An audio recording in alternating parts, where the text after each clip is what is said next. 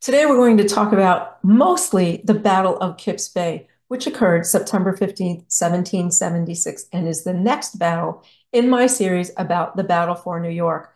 Check out those other videos so that you can catch up the Battle of New York as it's proceeding in the summer and fall of 1776. I have a whole series of those battles which cover everything that's going on from July of 1776 up until now, the end of September. I'm Mrs. Q. Thank you for joining me. Now, when I was trying to figure out talking about the Battle of Kips Bay and how to make it interesting to you, because I know a lot of people don't think military history is that interesting, I started thinking that I might ask you a question to ask yourself as we're talking about these events. And that question is if you were alive in 1776 and you witnessed all of the events through what I'm going to talk about in this video, would you still be a rebel? Would you still stand against England? Do you think you have what it takes to do that? Today, you know, in media, we're hearing all about who's a patriot, who's not a patriot, what does it mean to be a patriot? Well, let's talk about what it meant to be a rebel or a patriot in 1776. And let's see if you think you could have stuck it out. So up until now, the battle for New York has been raging since August 22nd, a little bit more than a month. And as you know from watching my other videos, if you saw them, this is a big strategic battle for both sides. Britain wants to take Manhattan Island in order to use it as a forward operating base. And strategic because of all the waterways, right? We have the Atlantic Ocean right there, making it easily accessible for the Royal Navy. The Royal Navy, of course, is key in the Revolutionary War because England has a massive supply line, goes all the way back to London. So how are they going to get everything over here? Their Navy. How are they going to move their troops around? Their Navy. So accessibility to the Navy is key. So right from the Atlantic Ocean, you can get right to Manhattan Island. New York Harbor protects Manhattan Island, right? If you put guns on either side of the entrance to the harbor, you're protecting entry from the Atlantic Ocean. And once you're in New York Harbor, you can head up the Hudson River on the west side, right, to the interior of the Northeast. And you can head up the East River on the east side out to the Long Island Sound, the North Shore of Long Island, and New England. Key for England. General Washington's goal that summer keep it from happening. Keep the British from taking Manhattan Island. And as you know from watching the videos up until this point, there hasn't been very much success for Washington's army. And although they have lost every encounter with the English, they have not surrendered and they've not given up. So now the next battle to come will be September 15th, 1776, the Battle of Kips Bay. This is the only time in American history that Manhattan Island has been invaded and occupied by a foreign army. But before we get to Kips Bay, we're going to take a little detour. Kips Bay, by the way, is around 26th to 34th Street on the east side. Sorry, I took for granted. I always think I'm talking to New Yorkers. Kips Bay is on the east side of the island. We're about 26th to 34th Street, as you can see from the map here. But before we talk about that, we're going to head back down to lower Manhattan to Wall Street and Water Street. Now, if you've been in that intersection or you've been on my tour, my Revolutionary War tour, this is what it looks like today. And if you've been on my Revolutionary War tour, you've also seen this picture of what it looked like in 1776, or this picture is actually 1774, but that's close enough, right? Didn't change much in two years. And the wharf you're looking out on, so this is looking out from the bottom of Wall Street out into the East River. And what you're seeing here is something called Murray's Wharf one of the most important docks in colonial New York City. Now, who are the Murrays? Well, the Murrays are a Quaker family who um, owns a shipping company. Right? This is their commercial wharf. And as Quakers, of course, they're going to at least declare that they're neutral during the Revolutionary War. So the Murrays live, or go back uptown, or at least to Midtown, right near Kips Bay, in an area some of you might know today, if we look on a map, is called Murray Hill. Same family. Murray Hill is named for the Murrays, but it wasn't called Murray Hill then. It was called Eikelenburg. And Eikelenburg was their home, their country estate where they lived. Now, the key Murray family member in our story today is going to be Mrs. Murray, Mary Murray. Her husband is Robert Murray. He owns the shipping company. Mary Murray is one of the wealthiest and most respected ladies in New York City. She has a private carriage. She has a wonderful home, a lovely wine cellar filled with the finest Spanish Madeira wine. The Madeira wine was the sign of your wealth and sophistication at that time. So we'll just, for the moment, leave the Murrays there at their home at Eikelenburg and return to the Battle of Kips Bay. So you might know now there's been no military activity since August 29th, when General Washington and his army crossed the East River from Brooklyn to Manhattan under cover of darkness. The British have not yet attacked Washington's position on the island. And you might have also known I did a little video in between here about a secret peace conference that was going on in Staten Island at that time. Well, Washington can't figure out why Howe hasn't just come straight across the East River and attacked him at Manhattan, especially now when he's weak, discombobulated, his troops are all over the place. Why doesn't Howe just cross the East River and attack him then? Washington comes to believe that it's taking Howe so long to do that, maybe he's not coming that way.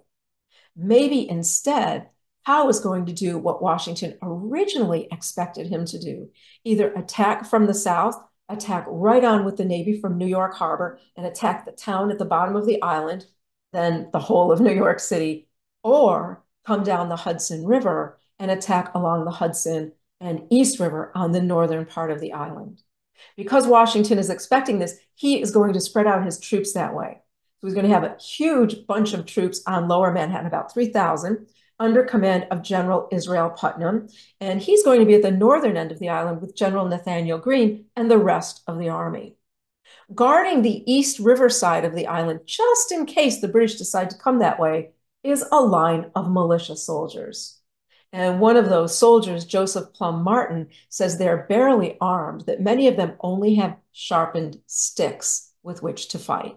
Now, if you still happen to be a civilian on Manhattan Island, and there weren't many left by now, Washington had issued a general order for everyone to get off the island who could. But if you were still there, you would have awakened that morning, September 15th. It was a Sunday morning, probably planning to go to church. But before you could go to church, you would have noticed there were warships on both sides of the island. Four of them in the Hudson River and five of them in the East River. And those East River ships would have included three major naval warships, or men of war, if they would call them. The Phoenix and the Roebuck, 44 guns each, and the Rose, 32 guns, and two smaller ships accompanying them. So now the bottom part of the island, from about 42nd Street down, on both sides of the water, is filled with warships and coming across the East River from the Brooklyn Queen side out of the Newtown Creek begins hundreds of flatboats. A huge invasion is coming from the Brooklyn Queens side. And to cover that invasion is a near three hour cannonade of artillery fire coming from these ships. So, what would it be like for you to be there? Well, let's take a look at some firsthand accounts of people who witnessed this event. So, here's the account of a soldier. His name was Joseph Plum Martin. Martin enlisted in 1775. He was 15 years old at the time. And although he went home a couple of times during the war, he stayed in for most of the war and he wrote a memoir about his experiences. Some of you might have read it. So Martin was at Kips Bay. So what did he have to say about it? As soon as it was fairly light, we saw their boats coming out of a creek or cove on the Long Island side of the water, filled with British soldiers. When they came to the edge of the tide, they formed their boats in line. They continued to augment their forces from the island until they appeared like a large clover field in full bloom, and now was coming on the famous Kips Bay affair, which has been criticized so much by the historians of the Revolution. I was there and will give a true statement of all that I saw during that day. He then goes on to say that he and some fellow soldiers were in someone's barn when the whole thing started, looking through some papers. He says, when all of a sudden there came such a peal of thunder from the British shipping that I thought my head would go with the sound. I made a frog's leap for the ditch and lay as still as I possibly could and began to consider which part of my carcass was to go first. Next, the Reverend Shewkirk of the Moravian Church talks also about the sound of the cannon fire. He says that everything on the island shook, all of the houses. He says your body shook, the inside shook. He said some of the balls blasted through people's homes, and miraculously, no one was killed. And he did say that, as savage as it was, he decided to still hold services that afternoon and was the only church in the town that did so. Next is Lieutenant Colonel Archibald Robertson, who was aboard the warship, the man of war Rose. And he says, then the signal was made to advance toward the shore in their proper divisions, upon which all the ships began to fire and kept up an incessant roar, and their guns, well directed our boats, were quite covered with smoke. The scene altogether was grand and noble. Robertson then talks about landing on Manhattan Island, and he says, the horror and fright of the few inhabitants in the first house we came to was shocking. Well, the militiamen guarding the East River know that there is no way that they can fight what's coming toward them. And of course, their ranks are going to all break up and they all turn and they run. But by that time, General Washington and the men at the northern part of the island realized what was happening and started riding down toward Kip's Bay. And this is where the firsthand accounts are really interesting. They talk about how General Washington is riding toward the East River and his militia is running away right past him. We have a number of accounts that say that Washington got so angry he got off of his horse, threw his hat on the ground, and exclaimed, Are these the men with which I have to defend America? The British now are going to come ashore unopposed at Kips Bay. And we find out that one of the first things they do is head toward the home of Robert Murray. And this is where our story gets really kind of interesting. It's going to take time, right, for the English to land all of those boats on Manhattan Island. Well, all they have to do once they land is march their forces straight across the island from east to west, say around where 42nd Street is. If you've been on 42nd Street, you can kind of picture them walking from the east side to the west side, maybe through Times Square, as it is today, um, to block off the bottom half of the island where General Israel Putnam's men are. So this is what they're planning to do. So in the meantime, they come to the Murray house, and who is there but Mary Murray? And the story tells us that Mary Murray then invited the officers to afternoon tea, where they enjoyed her fine Spanish Madeira. They had tea and pastries, fun and civil conversation, and even the royal governor Tryon attended this affair and began to tease Mary Murray about her rebel friends, as it was well known that Mary Murray had a close relationship with the New York Sons of Liberty. Now, what they don't know is that while they're delaying at Eichenberg, and waiting for the rest of the troops to land, the Israel Putnam's men are heading up the island to join the rest of Washington's army at Harlem Heights. And they are being led by a young captain named Aaron Burr. The great New York City historian Martha J. Lamb, who wrote a wonderful two volume set about the Revolutionary War in New York, tells us about the heroism of young Captain Burr, who led a column, 3,600 people, two miles long, on this winding path, evading the British all the way up to the northern end of the island. And at one point, they were within one half mile of each other.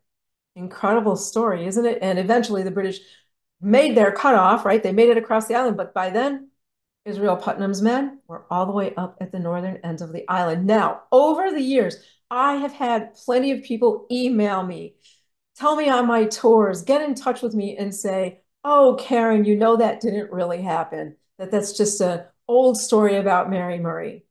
Really? It didn't happen? Well, let's look at the diary of Mr. James Thacher, M.D a doctor who was also an officer in Washington's army. And let's see what Dr. Thacher had to say.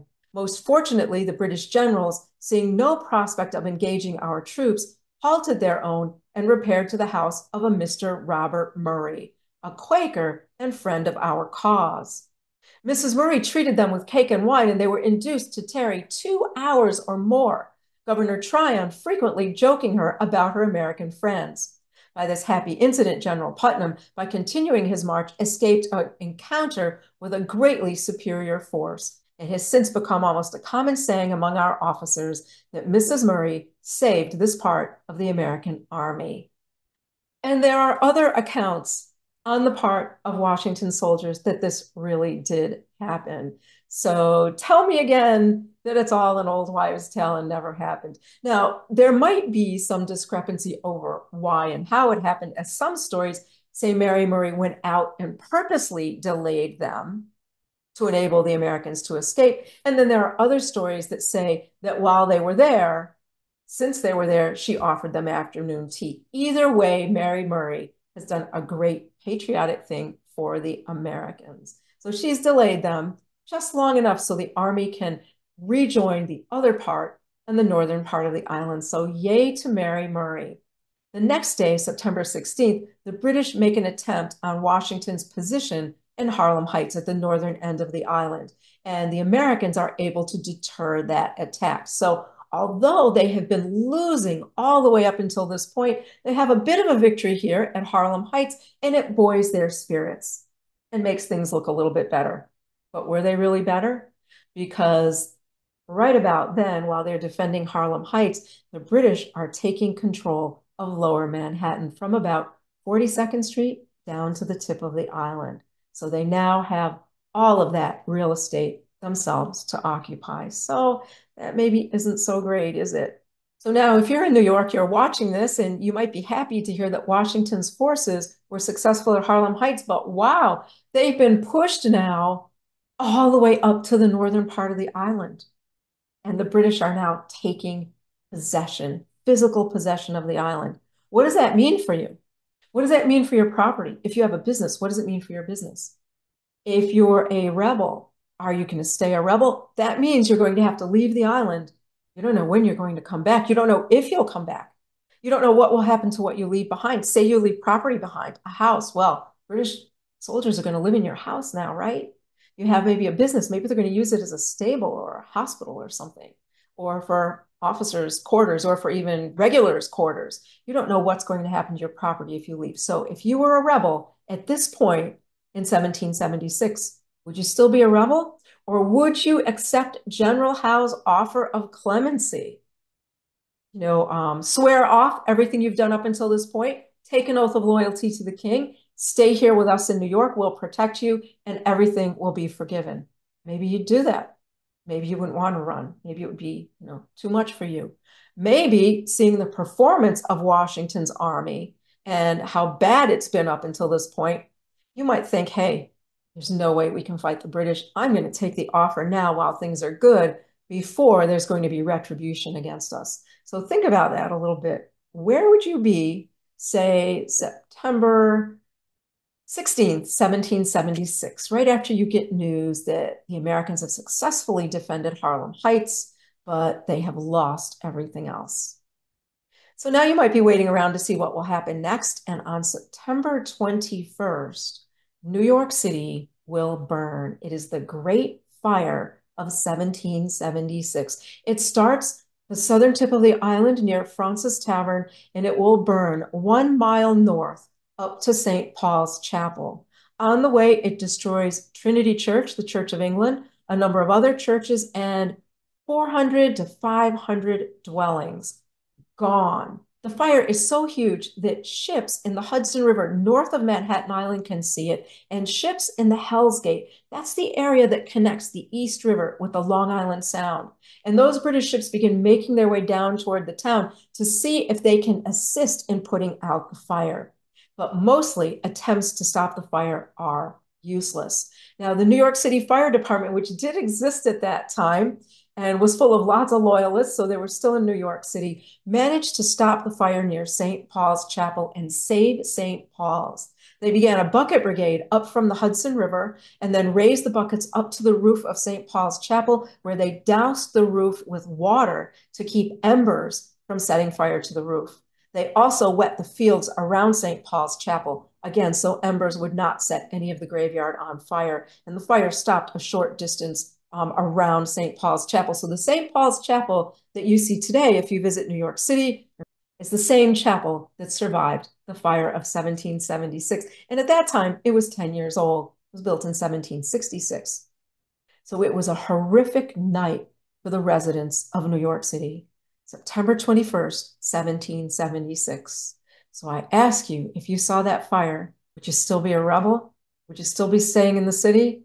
Or would you get out? Or would you take that offer of clemency? Until this day, it's still debated who started that fire and why. But it seems like the most likely story was that it started in a tavern near Fraunces Tavern.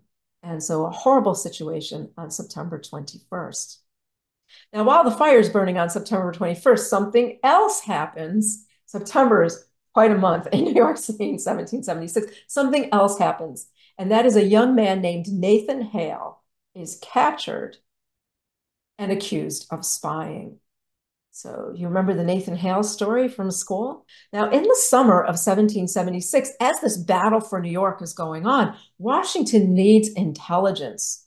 You know, he is far inferior forces. He needs superior intelligence. So he sends out word to his commanders in the region that he's looking for young officers to spy, to put on civilian clothes, go move among the British, bring back intelligence and share it. Find out what they can about General Howe's plans for the invasion of New York. And Nathan Hale volunteers to do this.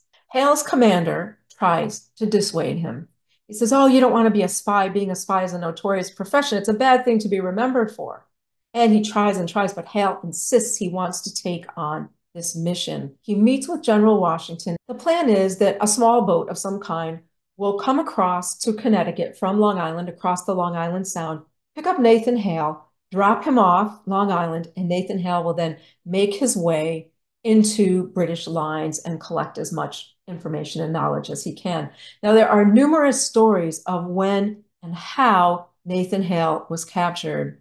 For many years, the story was that he was captured right on Long Island at Huntington. Other stories say he made it as far as New York and was captured trying to enter the city during the time of the fire. And that's the story I'm going to go with, as there are many eyewitnesses who claim that's what happened. But again, you know, it's really hard to know. So I'm just going to, you know, stick with that story because I'm talking about the fire. So let's say Nathan Hale is captured the night of the fire. They ask him what he's doing there. And he says, I'm here to get a job as a teacher and he shows his Yale diploma, his teaching certificate, references, all of that stuff. It looks good. And um, then they inspect the lining of his jacket and they find his commission papers and the intelligence he's been collecting. And they just call him a spy. Hale was then taken to the headquarters of General William Howe, which was pretty far uptown, 68th Street and about First Avenue today, the old Beekman Mansion. And Howe kind of looks at everything and he says, Oh, this kid's a spy hang him tomorrow. And you know, that's what happened. The next day, September 22nd, 1776, 21 year old Nathan Hale was hanged as a spy. Whoa, um, four years later, that is going to have major consequences, right? Because some really important guy in the British military is going to get hanged as a spy um, almost a year to the day that Nathan Hale was hanged. And we're going to talk about that in another video. Some of you might know who that was and what that situation was. So Nathan Hale um, is hanged. And the accounts of the British at that time say that they left his body hanging for three days. And then in someone's yard, they found a wooden cutout of a soldier. They took it and they wrote George Washington on it and they put it next to him. And they left that all for three days. And then they buried Captain Hale in an unmarked grave. And we have this British account of Nathan Hale's last words. Let me just get it up here so I can read it for you. Just before he expired, he said aloud, I'm so satisfied with the cause in which I have engaged that my only regret is that I have not more lives than one to offer in its service. So here we are, the end of September 1776. Brooklyn has been lost. The lower part of Manhattan Island has been lost. The city has been burned.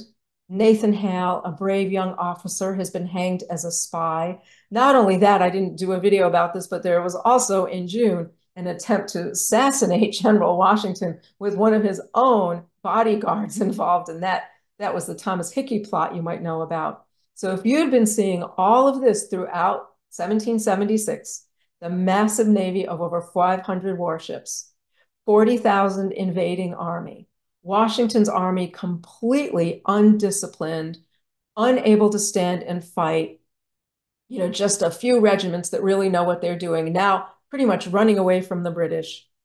Would you still stand and fight?